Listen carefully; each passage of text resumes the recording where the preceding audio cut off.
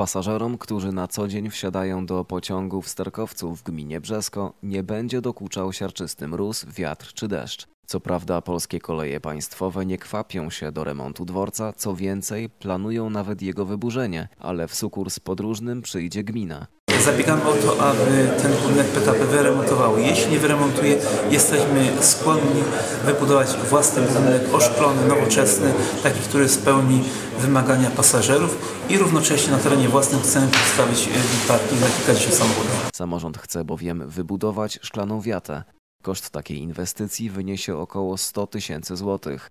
Gmina zaplanowała także budowę parkingu. Samorząd chce zapewnić miejsca postojowe tym, którzy do pociągu dojeżdżają samochodem. Jakkolwiek budowa wiaty i parkingów w Starkowcu uzależniona jest od terminu zakończenia modernizacji linii kolejowej Kraków-Tarnów-Medyka, już dzisiaj gmina przymierza się do zlecenia projektów technicznych, tym bardziej, że samorząd liczy na dotacje unijne.